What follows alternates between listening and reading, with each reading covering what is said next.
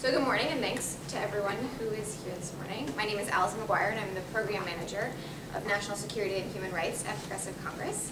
Um, we, uh, Progressive Congress is a nonprofit organization that serves as a conduit between progressive ideas both on and off the Hill. Um, so in our program on national security and human rights, we look at alternative approaches to current policies. And one of these approaches uh, is at the core of a new way forward, uh, rethinking U.S. strategy in Afghanistan. If you haven't picked up a report already, go ahead and grab one. The report was created by the Afghanistan Study Group, and it, it, outlines five key elements to a new strategy in the nine-year conflict.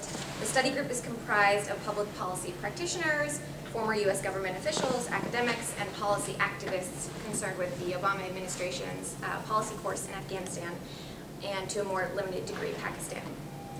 Um, we have three uh, wonderful panelists today, and um, starting to my right is Matthew Hoh, the director of Afghanistan Study Group. He served as a former Marine in, Iraq and was a State Department official in Afghanistan. Uh, Paul Pillar is the Director of Graduate Studies in the Center for Peace and Security Studies at Georgetown University. He worked for 28 years in the intelligence community. And a retired officer of the U.S. Army Reserve, he will be lending an academic voice to today's discussion. Darcy Burner is the Executive Director of Progressive Congress. In 2008, she co-authored the Responsible Plan to End the War in Iraq, a report detailing the non-military solution for America's goals in Iraq. Um, the briefing will be taped during this initial portion. I have a few questions that I'll start out with, and then um, it will be off the record, and, and the video camera will go away for when I open it up to the audience. So, um, just starting out, Matt, uh, despite my short description of the Afghanistan study group, can you elaborate on its purposes, um, its purpose and goals, and how the group actually came about? Sure. Um, thanks for having me here today. Uh, appreciate you guys being here this morning on a recess day and it's raining and everything else, so I appreciate you all turning out for this. Um, the Afghanistan Study Group came about last November. Um, it's more of a network than it is any organization. Uh, we have currently about 60 signers. We, we, get, we get one or two or three signers uh, a week adding their name to our report.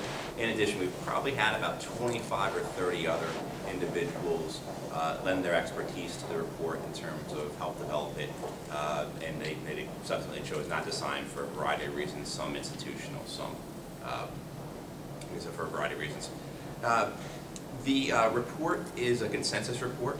Um, it's, you know, as you can imagine, getting 60 or so some odd people to, to agree on something as complex as Afghanistan.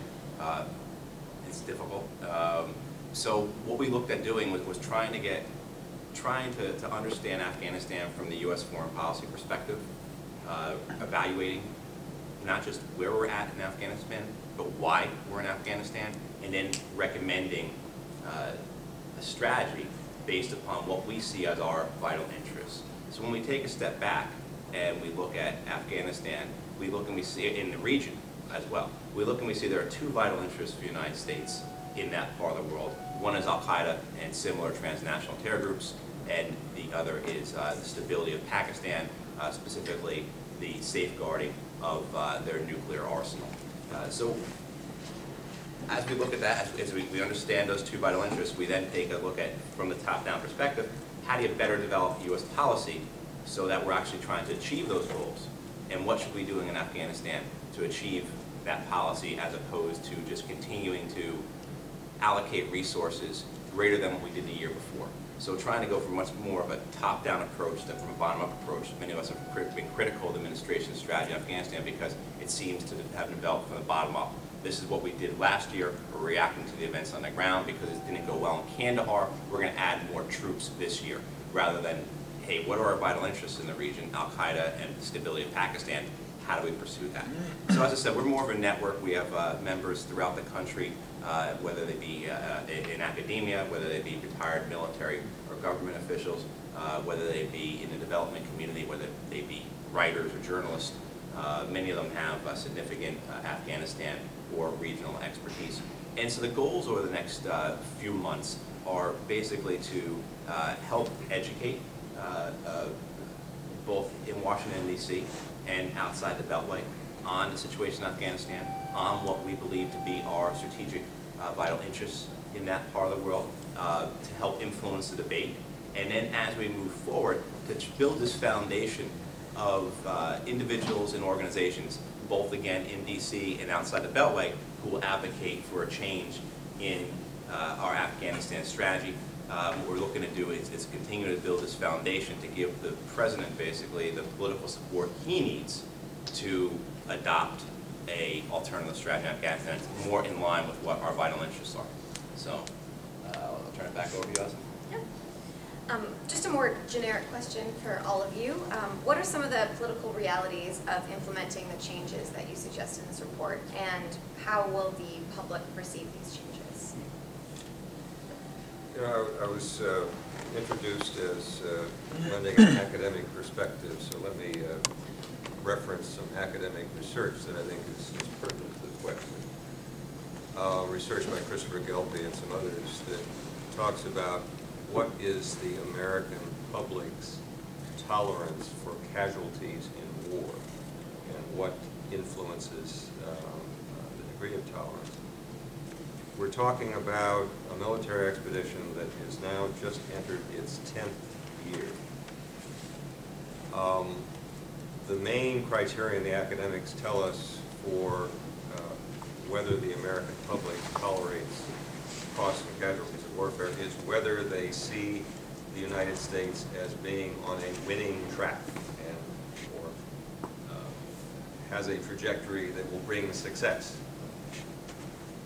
There are enough of the indications um, of the trajectory we're on in Afghanistan, not least of all from the standpoint of the American public, a trajectory of increased costs and casualties uh, that is not, I think, very encouraging from the standpoint of public support for continuing the current course.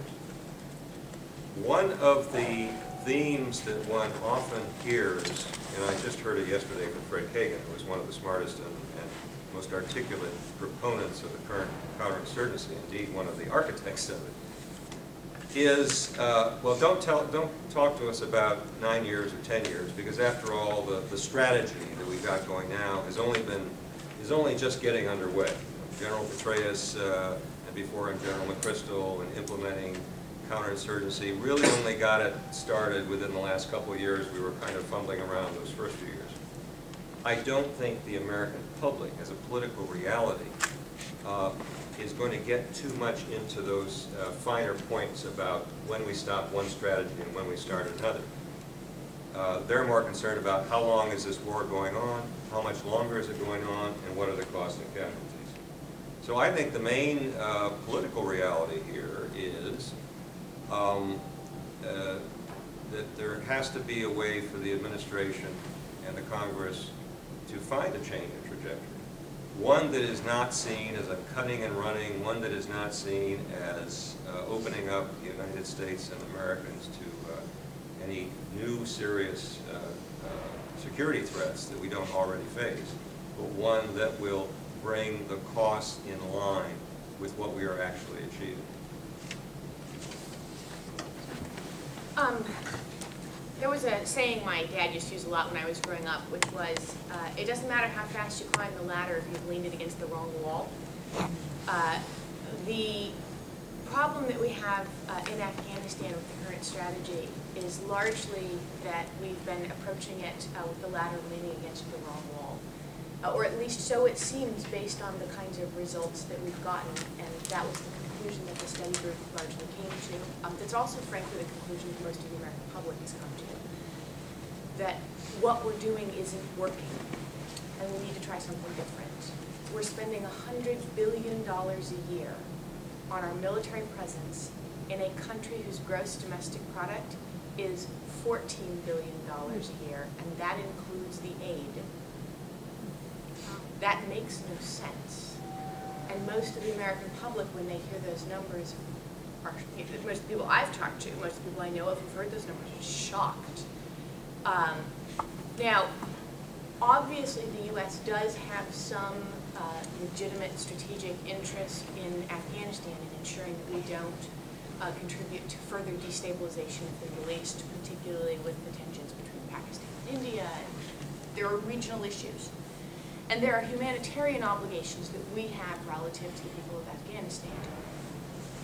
But I think that the political reality is that the American people have been looking for some alternative to the current course. And based on what we've seen in things like Bob Woodward's new book, our president has been looking for an alternative to the current course and wasn't offered one. Um, so the study group was designed to provide at least a broad set of principles outlining a different approach to solving the real problem.